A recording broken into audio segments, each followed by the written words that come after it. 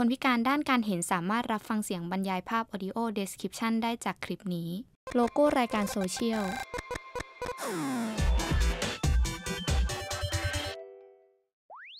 นักเรียนคีย์บอร์ดคือใครและมีพฤติกรรมอย่างไร นักเลงคีย์บอร์ดก็คือ ผมคิดว่ามันคือคนที่มีความมั่นใจ บางทีอาจจะมีความมั่นใจผิดๆคิดว่าตัวเองสามารถแสดงความเห็นอะไรก็ได้ ซึ่งบางทีเขาอาจจะไม่ได้คำนึงถึงการไปหมิ่นประมาทคนอื่นเขา อนนี้เลยก็พวกกระแสของดาราค่ะ เกรียนคีย์บอร์ดจะออกมากันเยอะมาก ก็คือเขาจะแสดงความคิดของเขามาอย่างเต็มที่เลย เคยคิดค่ะแต่ไม่เคยทำภาพตัวการ์ตูนชื่อนายโซเชียล เคยสังเกตไหมครับว่า การแสดงความคิดเห็นในโลกโซเชียลบางครั้งก็ใช้คำรุนแรงจนเราเรียกว่าเกรียนคีย์บอร์ด หรือนักเลงคีย์บอร์ด การแสดงความคิดเห็นเหล่านี้จริง ๆ แล้วทำได้มากน้อยแค่ไหน ไปฟังคำตอบจากผู้เชี่ยวชาญกันครับ คำว่านักเลงคีย์บอร์ดเนี่ยอาจจะไม่มีคำจำกัดความที่ชัดเจนแน่นอนลงไปนะครับ แต่ว่าโดยทั่วกันเนี่ยก็จะเข้าใจว่าหมายถึงบุคคลที่เข้าไปโพสต์ข้อมูลต่างๆ หรืออาจจะไปแสดงความคิดเห็น หรืออาจจะเข้าไปใส่เรื่องราวต่างๆ เข้าไปอยู่ในโลกออนไลน์ โลกดิจิทัล ในโซเชียลมีเดียที่อาจจะเป็นข้อมูลที่เป็นเท็จ หรืออาจจะไป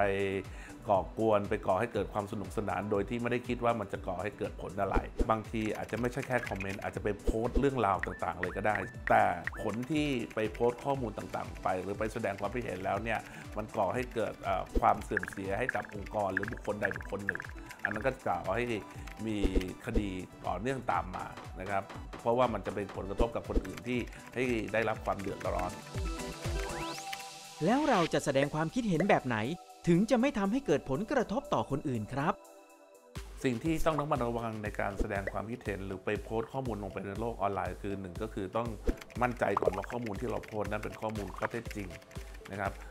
สองก็คือต่อให้เป็นข้อเท็จจริงแล้วต้องดูให้ดีว่ามันมีผลกระทบกับคนอื่นมากน้อยแค่ไหนอย่างไร เพราะบางทีข้อเท็จจริงนั้นก็เป็นข้อเท็จจริงที่เราด้านเดียวเท่านั้นเอง เราอาจจะมีความคิดเห็น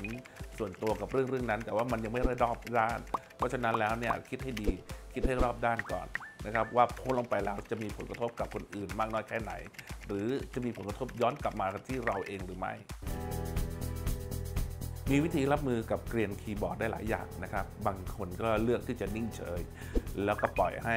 ผู้ที่เรียกว่าเกรียนคีย์บอร์ดเนี่ยเขาก็โพสต์ข้อความไปเอง แล้วเขาก็คงจะหยุดไปเอง บางคนก็จะใช้วิธีการก็คือ cap ข้อมูลทุกอย่าง แล้วก็ไปแจ้งความดำเนินคดีกลับมาพบกับสาระดีในรายการ Social by จุฬาลงกรณ์ University ในครั้งต่อไปได้ใหม่ สำหรับวันนี้สวัสดีครับ